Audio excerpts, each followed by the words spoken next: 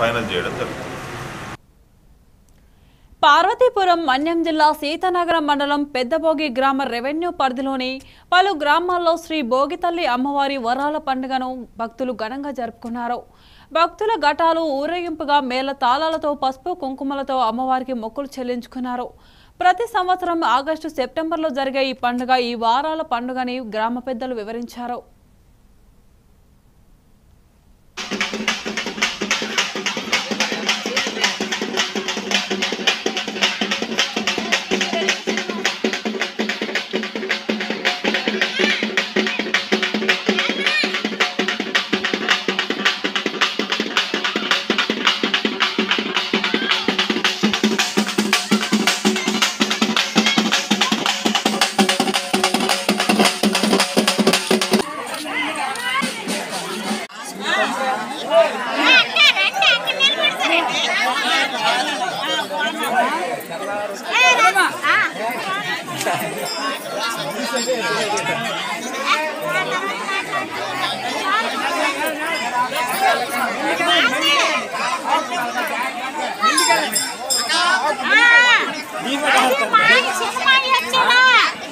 ఎప్పుడు వచ్చావురా ఇందాక మీ అక్కలు వచ్చినప్పుడు వచ్చాను ఏదైతే నువ్వు బయటకు వచ్చి వచ్చావు వచ్చారా పొడుగు ఆ,